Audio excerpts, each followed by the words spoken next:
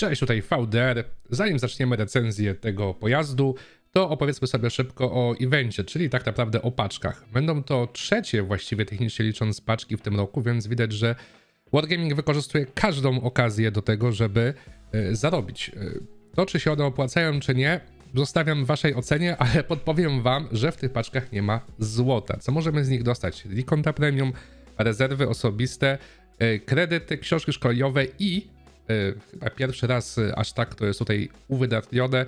Mamy 10% szans na to, że dostaniemy wolne doświadczenie. Oprócz tego jest oczywiście szansa na czołgi premium, więc będziemy mieli Szara, Szarmle 75, Alembik to jest inna wersja, czy inna nazwa dla Astrona Rexa amerykańskiego magazynkowego czołgu średniego, K2, Jagdtiger prototyp GSOR 1008, czyli TEDek, Emil 1951, T77 magazynkowy Forest Spirit, czyli e, znowu druga wersja Su-130 e, i Alt Proto e, AMX 30, więc francuski czołg średni. Wracając do, do tych skrzynek, nie wiem w tym momencie przy nagrywaniu tego filmu, jak, jak one są drogie, natomiast nie wygląda na to, żeby one się w jakikolwiek sposób opłacały, moim zdaniem. E, szansa na to, że czołg wam wypadnie jest dość niska. Prawdopodobnie będzie tak, że znowu z 50 paczek będzie wam musiał wypaść jakiś czołg. E, natomiast e, wszystko zależy od ceny. Myślę, że nie będzie się sensu zabijać o tą o te paczki i próbować na siłę czegoś wydropić. Wróćmy sobie do czołgu, bo to jest pewnie to, po co przyszliście i co was bardziej interesuje. T-54D to jest jakaś taka rozwojowa wersja e, radzieckiego T-54, e, niemiecka rozwojowa wersja, e, która została wyposażona, tak naprawdę sama skorupa czołgu została taka jak to było w radzieckim T-54, natomiast cała reszta została pozmieniana. pozmieniana. Mamy tutaj zachodnią armatę 105 mm, która zadaje 390 uszkodzeń na strzał przy penetracji 268 mm na zwykłych przepraszam, na podkalibrowych pociskach, 300 mm na y, pociskach kumulacyjnych i 53 mm na odłamkowo burzących. Y, załadowanie działa to nieco ponad 11 sekund. Przy dosyłaczu dobrej załodze można zejść do y, granicy około 9 sekund, czy nawet delikatnie poniżej 9 sekund. Celność podstawowa 0,33 na 100 metrów i 2,7 czasu, e, sekundy czasu skupiania, więc e, armata wydaje się być dość celna i rzeczywiście taka jest, e, natomiast ten czas skupiania i rozproszenie działa jest dość duże. To rozproszenie działa i tak zostanie delikatnie zmienione w stosunku do tego, co tutaj widzicie, bo ono jest w tym momencie większe, ale ma wejść jakaś mikrołatka, która to poprawi. Natomiast nie jest to aż taka wielka zmiana, żeby nie można było tego czołgu ocenić. Będzie po prostu ten czołg odrobinę lepszy. E, natomiast e, dalej nie jest to przyjemna armata. Główną cechą tak naprawdę tego całego pojazdu jest ten pancerz, e, o którym powiedziałem. Są tutaj dołożone płyty pancerza i na boku, i na wieży. Właściwie cała ta wieża jest dookoła tym pancerzem obudowana na przedniej płycie i to bardzo przypomina w swoim, w swoim zachowaniu ten pancerz, który mam na Iron Army, czyli na ósmotierowym amerykańskim czołgu średnim. Są tutaj weak spoty, da się gdzieś pomiędzy tymi płytami, gdzieś na ich skraju, gdzieś po środku są takie dziury, e, gdzie gdzie, gdzie można się e, przebić, natomiast z większej odległości, albo jeżeli będą do was strzelali ludzie z armat, które mają e, trochę słabszą celność, będą mieli problem, żeby trafiać na weak spoty, więc ten czołg sam z siebie, nawet bez waszego pomocy, bez, bez waszej pomocy, bez waszego udziału, e, jest w stanie trochę pocisków odbić w każdej bitwie praktycznie. Więc zawsze coś tam się e, zatrzyma na tym pocisku, coś się ześlizgnie, na to możecie liczyć i to jest tak naprawdę główna cecha tego pojazdu. Drugą cechą, na którą warto zwrócić uwagę jest e, ta armata, o której powiedziałem, czyli armata, która zadaje 390 uszkodzeń, uszkodzeń na strzał w porównaniu z T5 innymi, czy nawet T55 niemieckim, ta zadaje 390, tamta zadaje 320, no i to czuć oczywiście to 70 uszkodzeń na strzał robi, robi roboty, bo powyżej 400 potrafi bardzo często wylosować i wtedy po prostu e, mamy zdecydowanie większy taki fear factor, jeżeli ktoś na raz, na, na raz wyjeżdża. Natomiast oczywiście to jest okupione tym dłuższym przeładowaniem. E, poza obrażeniami, tak jak powiedziałem, ten e, czas skupiania jest dość wysoki, dość długo trzeba poczekać. Plus jest taki, że jeżeli już skupicie to działo, to jest ono na tyle celne, że te pestki przeważnie trafiają tam, gdzie byście E, chcieli. Rozproszenie działa też, jak powiedziałem, jest spore, będzie troszkę mniejsze, ale nadal nie będzie to rewelacyjne. I jeszcze jeden feller, o którym warto wspomnieć i który dla mnie osobiście jest tutaj dużym problemem to jest raptem 5 stopni opuszczania armaty. Jest to upierdliwe, jest to męczące, wiele miejscówek dla was jest niedostępnych e, i trzeba się czasem naprawdę nagimnastykować, nawiercić, żeby znaleźć sobie opuszczenie działa, żeby oddawać strzały, bo czasem po prostu brakuje tam pół stopnia, jeden stopień. I musicie jakoś znaleźć, e, tak, e, tak się ustawić w tym terenie, żeby żeby to zniwelować i móc strzelać, więc będzie to naprawdę upierdliwe dla osób, które troszkę słabiej grają w gierkę. Z jednej strony mamy ten pancerz, który pomaga osobom słabszym, które nie potrafią może się kontować, ustawiać dobrze, z drugiej strony mamy te 5 stopni, które będzie powodowało, że takie osoby będą się wierciły, przekręcały, wyjeżdżały bokiem, żeby tylko sobie to opuszczenie armaty znaleźć, więc no niestety coś za coś. E, Mobilność tego czołgu Możecie się domyśleć, że mobilność tego czołgu w stosunku do T-54 radzieckiego ucierpiała, no bo skoro dołożymy trochę różnych blach z- e, czy płyt bardziej stalowych e, z każdej strony tego czołgu, no to on prawdopodobnie będzie, e, dostaje tutaj e, na, na, na mobilności i tak w rzeczywistości jest, bo podstawowa mobilność tego, czy prędkość jazdy tego czołgu to jest raptem 40 km na godzinę. Ja tutaj sobie wrzuciłem oczywiście turbo, i muszę powiedzieć, że na tym turbo ten czołg nadal nie jeździ super. Jest on ociężały, czuć, że po prostu jest masywny, że jest ciężki. Nie jest może taki wolny jak y, niektóre czołgi ciężkie, ale do medów y, naprawdę mu czasem brakuje, zwłaszcza jeżeli potrzebuje podjechać pod górkę, zwłaszcza jeżeli się dopiero o to spędzamy i jest delikatnie pod górkę, to wtedy on potrafi y, naprawdę, ten, ten podjazd potrafi naprawdę boleć. Szczerze, ja sobie sam nie wyobrażam grania tym czołgiem bez e, bez turbo. E, Myślę, że turbo jest na nim jak najbardziej obowiązkowe i wszystko, e, co możecie zrobić, e, żeby polepszyć tą jego mobilność albo opory gruntu, powinniście zrobić e, po to, żeby ten czołg po prostu stał się troszkę bardziej e, mobilny, bo to się po prostu zwyczajnie przydaje w grze. No dobrze, a jak wygląda sama rozgrywka tym czołgiem? Jakie są moje odczucia co do niego? W międzyczasie tutaj wyświetlą się wam, e, wyświetli wam się załoga, na której grałem. Będziecie mogli zobaczyć wszystkie perki, które wybrałem. Jak zwykle są to cztery perki, e, bo gram na koncie CC-kowym i dodatkowo wyposażenie, które ja proponuję oraz modyfikacje polowe, które moim zdaniem warto, warto zrobić. E, Szczerze, nie jest to zły czołg. Ten czołg tutaj będzie ciekawy dla osób, które wolą sobie wolą sobie nie grać może jakoś agresywnie, dynamicznie, tylko bardziej postać, odbić pociski. y, Po prostu dla osób, które są moim zdaniem trochę słabsze w grę y, i ten pancerz będzie dla nich robił główną robotę, czyli będzie powodował, że ta ich przeżywalność czy czas, y, przez który będą zostawali w bitwie będzie trochę dłuższy. A niekoniecznie będą te osoby zwracały uwagę na tą armatę, która, no nie oszukujmy się, nie jest najlepsza. Da się z niej trafiać, ale trzeba mieć troszkę cierpliwości do niej, no i y, trzeba przede wszystkim przezwyciężyć te 5 stopni, o których mówiłem. Y, moim zdaniem ten czołg jest po prostu średni, y, no z nazwy i, z typu oczywiście i tak jak powiedziałem, nie widzę sensu, żeby, żeby ten czołg wyprowadzać za bardzo.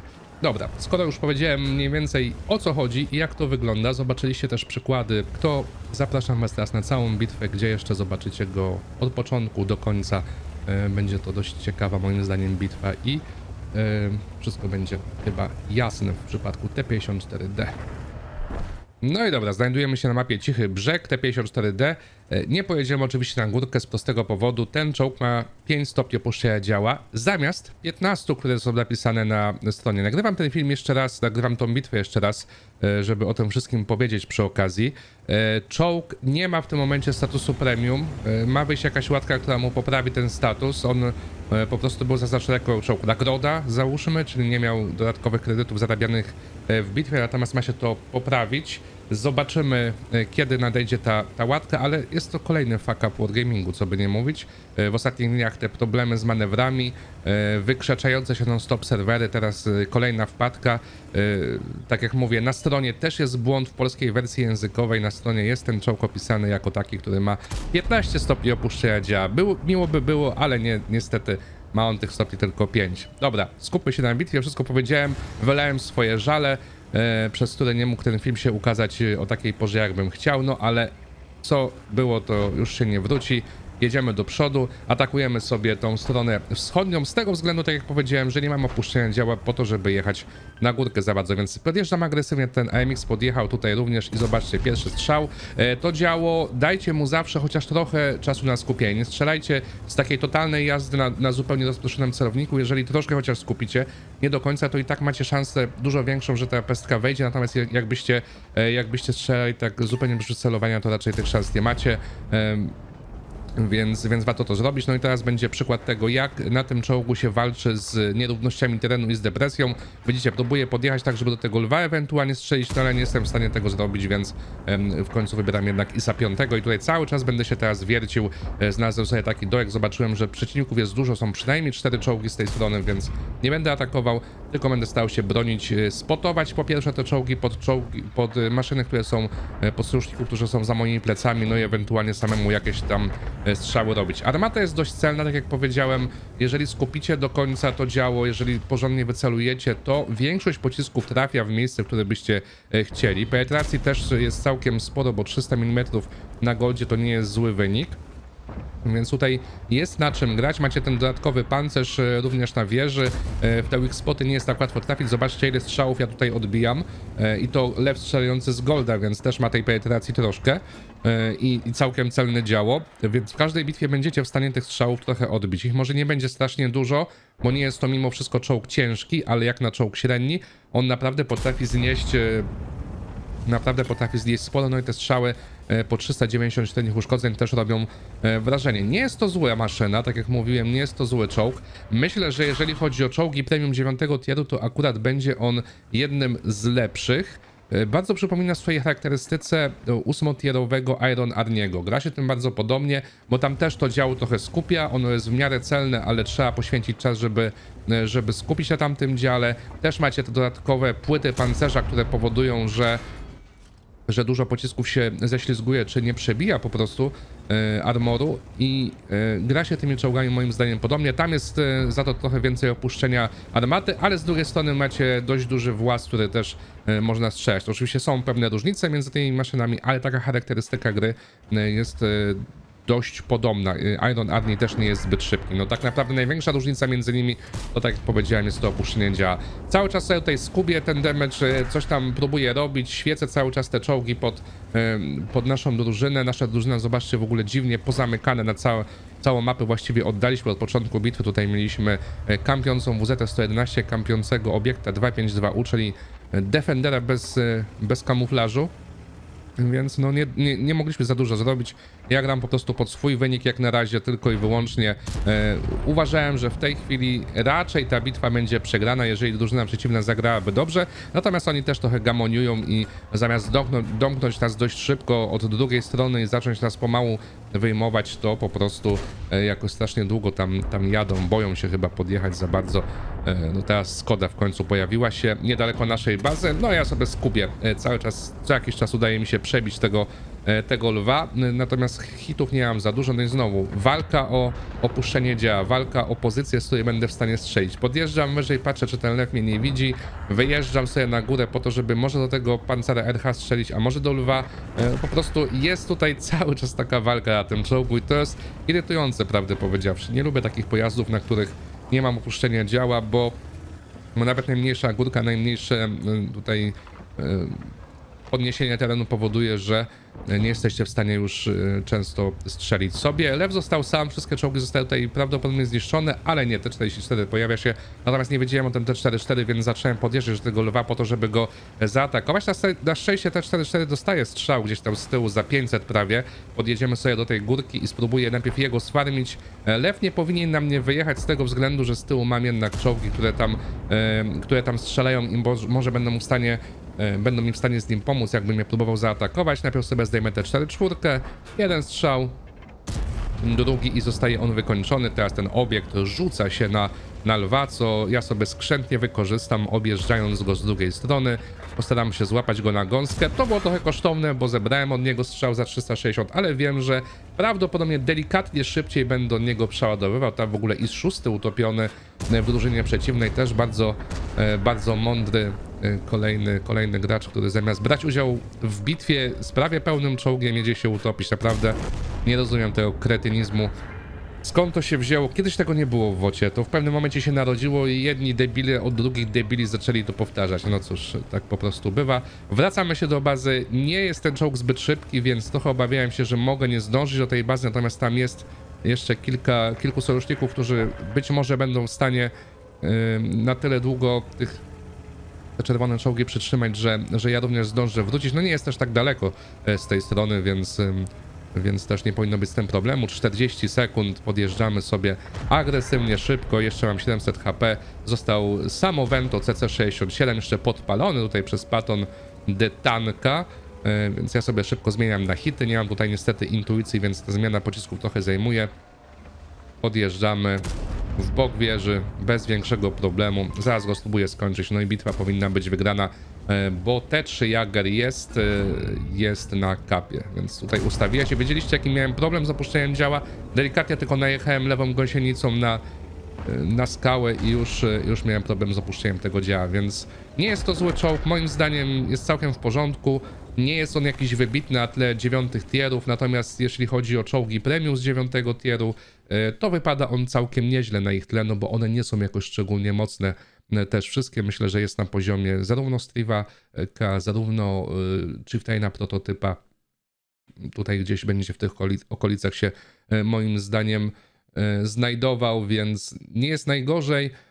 Natomiast na pewno nie jest to czołg dla wszystkich i ma pewne irytujące cechy, które moim zdaniem lepszym graczom nie będą za bardzo pasowały. Lepsi gracze raczej wolą nie mieć pancerza, a mieć mobilność i dobre działo, niż mieć ten pancerz i yy, musieć męczyć się z opuszczeniem działa na przykład, albo z długim skupieniem. Więc tyle ode mnie w tym y, filmie. Tak jak, tak jak mówiłem yy, na początku, jeszcze dałem disclaimer taki. Ten czołg jest czołgiem premium. Błędem jest Wargamingu to, że on nie jest czołgiem premium od początku, że jest czołgiem tak zwanym specjalnym, czyli nie zarabia kredytów, natomiast to zostanie naprawione Władce najbliższej, pewnie dzisiaj albo jutro. E, I tak samo na stronie e, oficjalnej polskiej w artykule jest błąd, e, być może już naprawiony, gdzie jest napisane, że ma minus 15 stopni opuszczenia działa. To jest błąd, ma tylko 5 stopni opuszczenia działa, więc tymi wszystkimi informacjami Was zostawiam. Sami zdecydujcie, czy warto kupować te paczki. Moim zdaniem niekoniecznie. Do zobaczenia. Pa, pa.